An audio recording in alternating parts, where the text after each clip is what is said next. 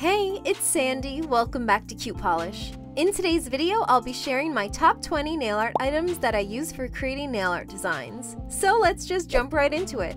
Number 1. Base coats. Before starting any nail art design, it's always important to protect your natural nails with a good base coat. Base coats provide a barrier between pigmented nail color and your nail plate, which prevents staining. They also help your polish adhere to your nails, providing a long-lasting manicure.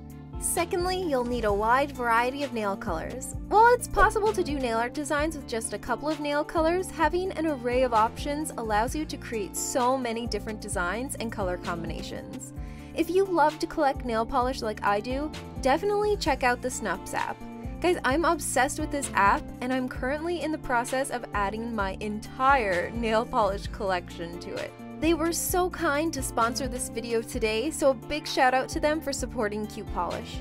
If you haven't checked out Snupps before, it's an incredibly easy organizer and socializer app that acts as a virtual log of all your favorite items.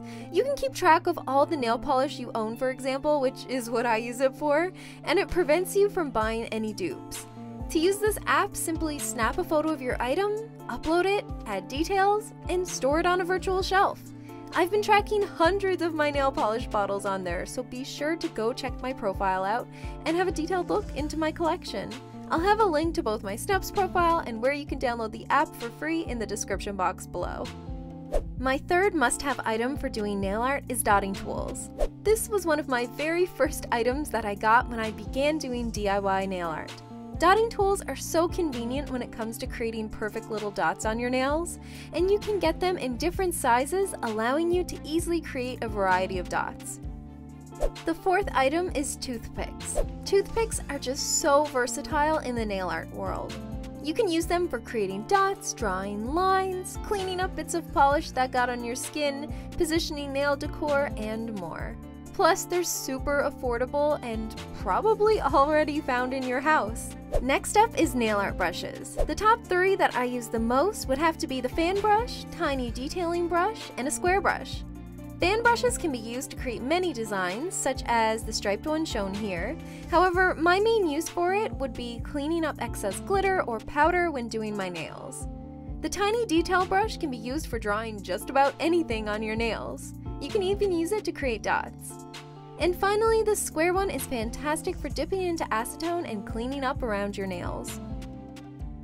What fun would nail art be without a little sparkle? Glitter for nails can be found in two different forms, the first one being loose glitter. Just pour it over your wet nail and either let it dry or cure it. Another way that you can easily apply glitter is by using a glitter nail polish. If you sponge these onto your nail, you'll get a full coverage glitter-packed mani. Specialty powders have become so huge this year, so I had to include these in my list. Holo powder for some rainbow goodness, chrome powder for a gorgeous true mirror shine, and mermaid powder for an iridescent finish are my top three favorites. Number 8 is rhinestones. These have been a staple in my nail art kit for almost a decade now. They're a simple and fun way to add some sparkle to your nails. I also love using nail studs. They come in so many different shapes and sizes, and they allow you to create awesome designs with little effort. Who doesn't love that? My favorite way to pick up rhinestones and studs is with wax pencils. It makes it so effortless and easy. Here I'm picking up and placing little confetti pieces, however it works the same with the rhinestones and the studs.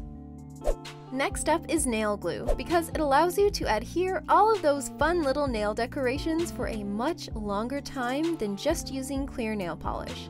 Add a drop and then place your decor. Speaking of which, 3D decor is always a ton of fun. My favorite item in this category would have to be bows. I've always loved adding these to my manicure for a pretty and fun look. Number 13 is nail vinyls. If you don't want to freehand a design, you can quickly use a nail vinyl to create a fun design in seconds. Just place it on, polish over it, and then remove. So easy.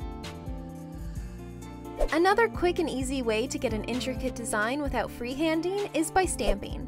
You'll need a stamper, which clear ones guys are the most convenient because you can easily see where you're going to place your image. And you'll also need stamping plates. Just add the polish, Scrape it with a plastic card, pick up the image on your stamper, and then stamp it over your nail. This is so quick and easy. Nail foils are another fun way to get a gorgeous looking manicure in no time. The sheets are super affordable and can be used to create a ton of different manicures. Also, they come in a bunch of colors and patterns, which is really cool. 16. Skin barriers.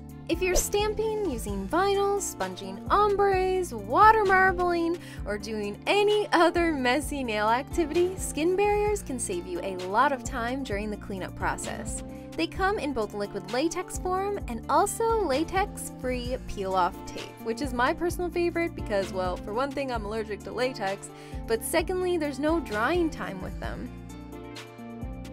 Next up is striping tape.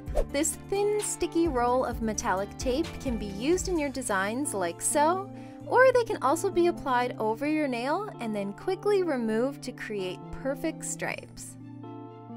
Makeup sponges are a must because they create beautiful ombres effortlessly and they can also be used to pack on an opaque layer of glitter. So after all of that work, you're going to want to have your mani last as long as possible, so that's where fast drying top coats come in. They seal in your design so you get the most out of each manicure. They also come in matte versions too. And finally, nail wheels. This is especially important if you're new to DIY nail art.